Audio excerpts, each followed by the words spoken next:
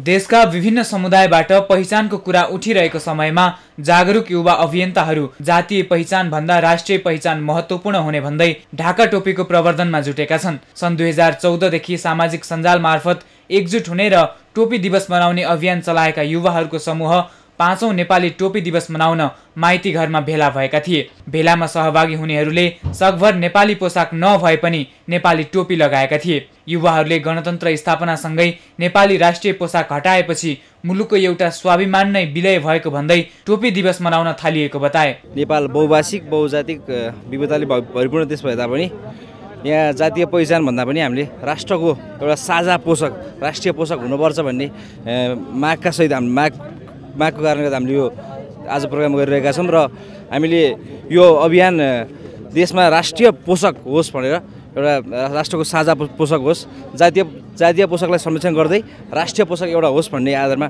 यो अभियान चलाइरहेका छौँ। भेलामा सहभागी युवाहरूले हाम्रो मान हाम्रो सान र पहिचान नेपाली पोसाकलाई सम्मान नेपाली म नेपालीपन राष्ट्रिय पोसाक जगेर्ना हाम्रो अभियान मेरो ढाका टोपी मेरो गौरव मेरो पहिचान लगायतको नारा लेखिएका प्लेकार्ड बोकेका थिए।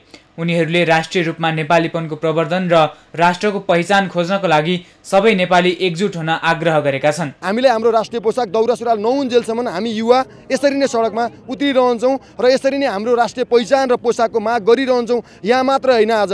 हामी नेपालका सोह्रवटा जिल्ला र अन्तर्राष्ट्रियमा चारवटा देशमा चाहिँ हामी राष्ट्रिय पोसाक दिवस मनाइरहेका छौँ। विगत पाँच वर्षदेखिबाट यो हामीले अभियानलाई हामीले किन गरिरहेका छौँ भन्दा हाम्रो लागि मात्र होइन? यो राष्ट्रको लागि तिन करोड नेपाली जनताको लागि आफ्नो पहिचानको लागि र राष्ट्रियताको लागि हामीले नेपाली पोसाकको माग गरिरहेका छौँ। युवाहरूले अङ्ग्रेजी नयाँ वर्षको दिनमा नेपाली पोसाक लगाउनु पर्ने अभियान सञ्चालन गर्दै आएका छन्।